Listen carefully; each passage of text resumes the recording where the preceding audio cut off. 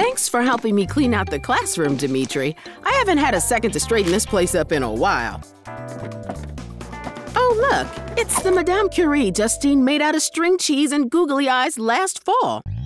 Yes, it's definitely time for some organizing. No problemo, Ms. Reyes. I just love helping you clean. Are you sure about that? oh, yeah. Cleaning's my favorite. hmm, an atom and a cell. Dimitri, why did you put the atom and the cell into different boxes? Because everyone knows living things are made up of cells. Hence, the cell goes into the life science box. And non living things are made out of atoms. Hence, the atom goes into the physical science box. Did you, by chance, just learn the word hence? As a matter of fact, I did. Hence, the reason I am using the word hence so frequently. Hold up! Ah, I see you're cleaning up the joint. Thanks for chucking that fuzzy piece of cheddar with the eyeballs. Well, that thing gave me the willies. I just hope you don't make this place too spick and span. Aw, I could never throw you away, Gummerson. Anyway, I heard Mr. Clean over there say that he thinks cells are only in living things and atoms are only in non living things. Yep, I heard it. Where did that fascinating idea come from? I can tell you how that idea grew. I've got a few ideas on that topic, too. Yo, you can call me Bert. Yo, Bert. I'm Blossom. Yo, now that introductions have been made, can we get back to the issue at hand? Of course. It sounds to me like Dimitri is bouncing around a common misconception that living matter is made up of cells and not atoms, and non living matter is made up of atoms and not cells. Exactly. So we need to get to the root of this issue the separation of life sciences and physical sciences. In life science, students are told that cells are the smallest unit of life. But in physical science, those students are told that atoms are the smallest unit of matter. And even though both those statements are true, it doesn't help very much if students don't understand that living things are matter or have any idea of the relative scale of a cell or an atom. Seriously, Miss Reyes? You know I love and honor every speck of dirt from which life grows. But Bella, honey, this dust is a little out of control. Well, it's not like any of you ever RSVP to my classy cleaning party evites. You're right. I think those We'll went in my spam folder. Now look at this model cell. Typical cell models show just a few components that look like mini organs. If only we had another visual aid. This might help. You are a dream. Come on, come on! Fire up the film! At just a slightly smaller scale, you can see that in reality, cellular components are made up of a huge variety of large molecules. These molecules are made up of atoms and are constantly involved in chemical reactions. But without guidance to help students put different models into a scale framework, kids just memorize the parts of a cell for their life science test, but are confused if you ask them to explain how a chemical reaction could happen in a cell.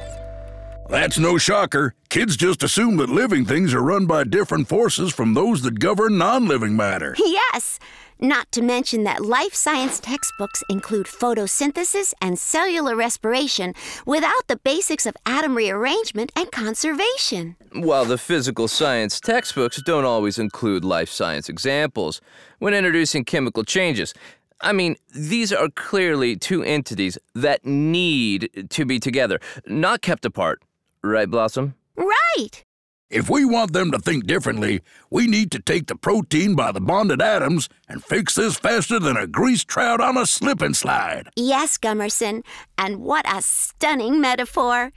This perennial problem needs to be pruned pronto. Let's let the visuals roll. When students only see this kind of representation, they come away thinking these purple blobby things are proteins, but don't realize that proteins are molecules. Or they think they must be fundamentally different from the molecules they've seen in physical science. Ooh, now this one is a little closer to what cells are actually like completely made up of molecules. There's nothing better than a flower that knows her facts.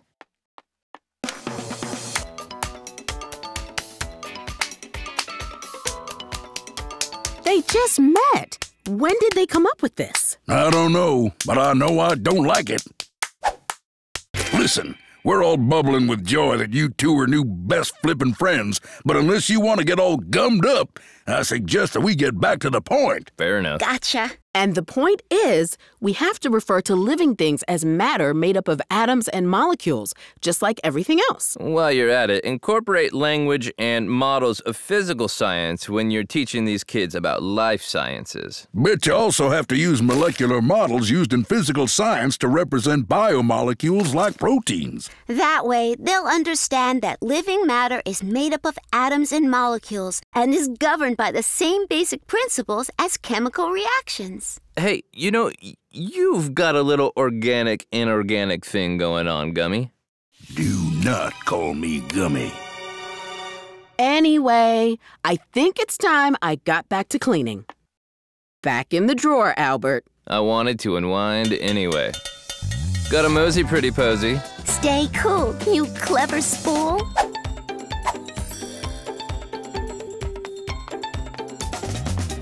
So, what's next? Well, I'm going to make sure my students get their basic physical sciences before teaching them about biochemical reactions. But right now, I think I need to have a quick chat with my cleaning buddy over there. All right, I'm out of here. Good riddance to bad dairy.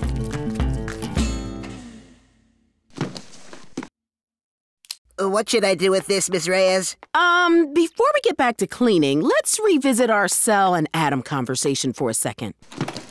You see this? All these blobs are made up of atoms, and atoms make up all matter, including cells. For real? For real. Chemical reactions happen in all living things. So, chemical reactions could happen in a cell, like cellular respiration? Yes. Whoa. Check this out. So, there must be chemical reactions happening in the mold that's growing on whatever kind of sandwich this used to be, too. Yes. Oh. Mm. Speaking of respiration, let's go track down some hazmat suits, Dimitri. Okie dokie. To discover more about how kids learn science and the types of misconceptions they might have, visit us online at scienceeducation.si.edu slash good thinking.